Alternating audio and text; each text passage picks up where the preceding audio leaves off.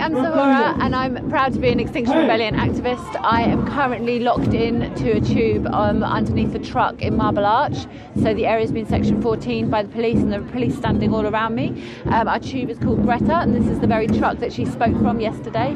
Um, and I'm doing this because I believe I have literally no other choice. I have worked on climate change for 15 years and it felt urgent 15 years ago in my first job. And I will sit here until I am arrested because I, I don't think we have any other way of making our point. And I see myself in the long line of, of amazing, amazing people who've gone before me from the suffragettes to Gandhi to um, the civil rights movement and many, many, many other people around the world who are putting their bodies and their minds and their hearts on the line to get justice.